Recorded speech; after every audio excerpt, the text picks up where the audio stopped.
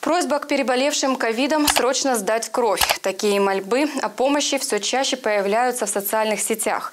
Действительно ли плазма выздоровевших может спасти жизни пациентам с коронавирусом? Почему ее нельзя сдавать рожавшим женщинам и работает ли плазма вакцинированных людей? Выясняла Людмила Батюшкина.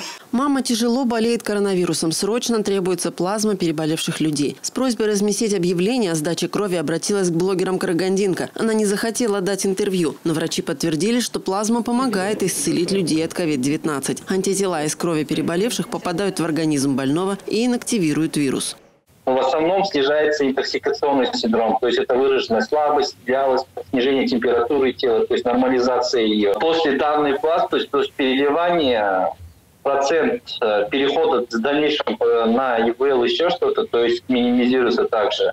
Сейчас на данный момент мы э, применяем ее и довольно-таки такие, то есть видим положительные эффекты от нее. Лечение переливанием плазмы переболевших начали в Китае еще в начале пандемии. Потом эффективность подтвердили российские врачи. Прошлым летом в разгар заболеваемости такое лечение проводили в Казахстане больным в реанимациях. Сейчас оно включено в протокол Минздрава и при лечении пациентов со средней тяжестью. Но плазмы действительно не хватает. Инфекционные госпитали постоянно требуют плазму. За ее сдачу донору выплачивают вознаграждение 22 275 тенге. Но сдавать ее могут не все. Только здоровые мужчины от 18 до 50 лет и женщины, у которых не было ни беременности, ни родов. Это связано с наличием у них антител, которые появляются в крови после беременности. Они э, одновременно с ковидными антителами могут определяться при анализе. А у них недостоверный результат получается по антителам при анализе.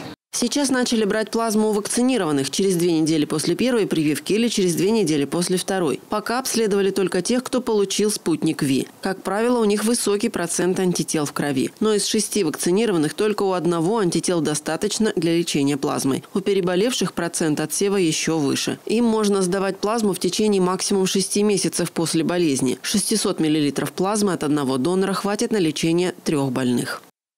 Людмила Батюшкина, Ирина Нинашева, Данил Заславский, Пятый канал.